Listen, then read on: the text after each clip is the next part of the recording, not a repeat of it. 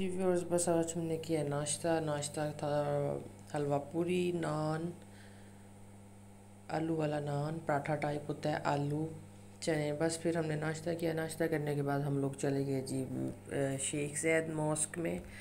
वहाँ पे देखें कितने ज़्यादा लोग हैं और इतना अच्छा मौसम था सुबह सुबह का। तो बस यहाँ पे जो है हमने काफ़ी ज़्यादा इन्जॉय किया। और ये देखें कितना ज़्यादा अच्छा व्यू है और ये जो है वो दुनिया की सबसे बड़ी मस्जिद जो है वो कंसीडर की जाती है। तो ये देखें, इसमें इतने ज़्यादा खजूरों के दरख्त हैं और ये उसका बाहर का व्यू है। लेकिन इस मस्जिद की ख़ास बात ये है कि यहाँ पे जो है वो बड़ों से लेके छोटे तक जितने भी होते हैं, उनको सर ढांपे बगैर अंदर नहीं जाने देते, ठीक है? तो वो जितने भी अदर कंट्रीज़ के लोग होते हैं नेशनैलिटीज़ के लोग होते हैं, वो अगर उन्होंने जीन्स की ड्रेसिंग की होती है तो वो जो है इनका एक सिस्टम है। वो लोग जो है, वो एक उबाया देते हैं, पहनने के लिए कोट्स देते हैं, सर पे देने के लिए कैप देते हैं और जितने भी वहाँ पे लेडीज़ आती हैं, सबको जो है वो देते हैं। ये देखें जी, मैं जा रही हूँ, वाह जी वाह। तो ये हम जा रहे थे, अब हम अंदर आ गए थे मस्जिद के। अंदर से उसका स्टार्टिंग पॉइंट चल रहा है अभी। ये मैं चेन पे जा रही हूँ। तो ये बेचारे देखिए सिक्योरिटी गार्ड्स जितने भी बेचारे ये ऐसे दीवारों के साथ खड़े हैं। लेकिन यहाँ पे एक सिस्टम बहुत अच्छा लगा है कि यहाँ पे सिक्योरिटी बहुत ज़्यादा हाई है, बहुत ज़्यादा हाई सिक्योरिटी है।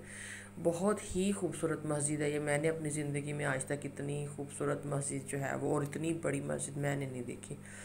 बस मस्जिद के बाद हम लोग जो हैं वो यहाँ पे आ गए थे। हमने इंटरनेशनल वाटर जो एक्वेरियम था, वहाँ पे हम आ गए थे। यहाँ पे देखें आप कितनी बड़ी बड़ी फ़िश हैं, हर किस्म की मैं कहती हूँ यहाँ पे मछली। मैंने तो कुछ ऐसी मछलियाँ भी थी जो मैंने अपनी ज़िंदगी में पहली दफ़ा ही देखी थी।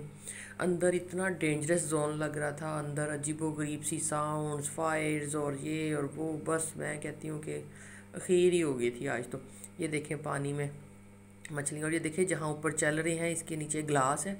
ग्लास के नीचे जो है वो समंदर बनाया हुआ है। हर चीज़ है तो बहुत सी डेंजरस डेंजरस सीन लग रहे थे।